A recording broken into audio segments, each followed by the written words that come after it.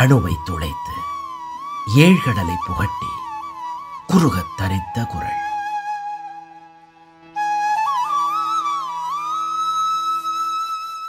ஆழ்வினை உடைமை என்கின்ற இந்த அதிகாரம்.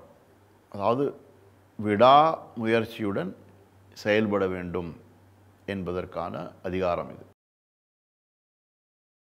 ஆழ்வினை உடைமை. அதில் அறுநூற்றி பதினோராவது குரலாக திருவள்ளுவர் சொல்வது அருமை உடைத்தென்று அசாவாமை வேண்டும் பெருமை முயற்சி தரும் என்று சொல்லுகின்றார்.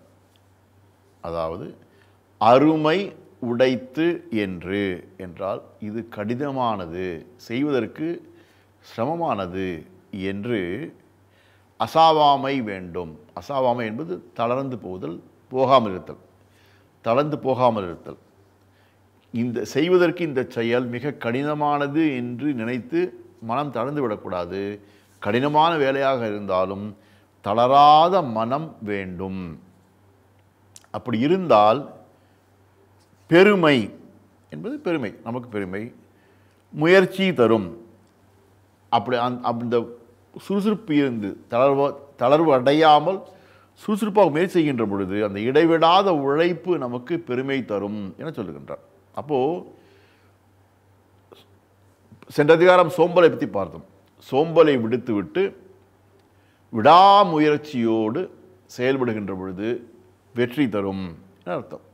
விடாமுயற்சி வெற்றி தரும் என தான் சொல்லுகின்றார் இங்கே. அதாவது ஊக்கமுடைமையிலே மன உறுதியோடு செயல்பட்டதை சொன்னார். இந்த மன உறுதிக்கு இடைஞ்சலாக இருக்கின்ற சோம்பலை பற்றி சொன்னார். இப்பொழுது தொடர் முயற்சி வேண்டும் என்பதை சொல்கின்றார். விடாமுயற்சி இருந்துவிட்டால் பெருமை தரும்னு சொல்லுகின்றார் எளிய உதாரணமாக சொன்னாக்கா இதுக்கு முயல் ஆமை கதை. ஓடுவதில் முயலுக்கு திறமை அதிகம்.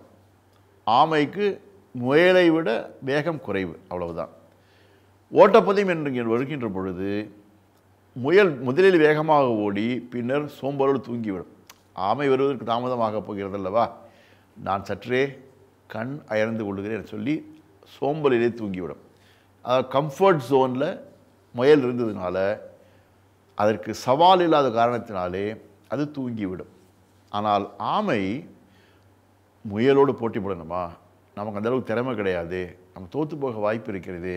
ஐயோ என்ன செய்வது என்கின்ற கணக்கு பார்த்து விலகவில்லை.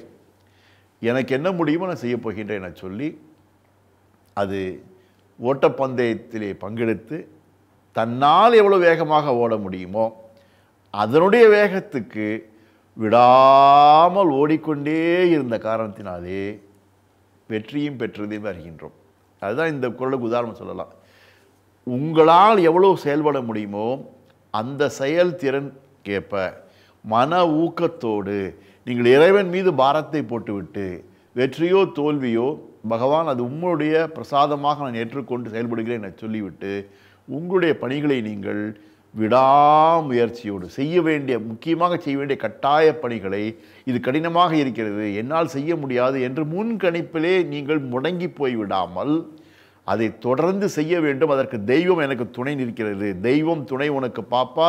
ஒரு தீங்கு வர மாட்டாது பாப்பா என பாரதி சொன்னால் அப்படி தெய்வத்தை துணையாக வைத்துக்கொண்டு இதை நான் செய்ய வேண்டிய கடமை செய்ய செய்ய நடக்க நடக்க நாராயணன் செயல் என்பது போல செய்ய செய்ய எனக்கு செயல்திறன் வரும் என்கிற நம்பிக்கையில் நீங்கள் தொடர்ந்து செய்வீர்களானால் அதனால் பெருமை கிடைத்து நீங்கள் வெற்றி பெறுவீர்கள் என்பதைத்தான் வள்ளுவர் சொல்லுகின்றார். எனவே வாழ்க்கையிலே விடாமுயற்சி வெற்றி தரும் என்பதை மனதில் கொண்டு நீங்கள் செய்ய வேண்டிய அத்தியாவசிய பணிகள் அவசிய பணிகள் வாழ்க்கை பணிகள் அல்லது செயல்களுக்கு விடாமுயற்சியை கைகொண்டு வெற்றி பெறுங்கள் என்பதை வள்ளுவர் சொல்லுகின்றார். அவ்வகையிலே நாம் தொடர்ந்து முயற்சி வெற்றி பெறுவோம்.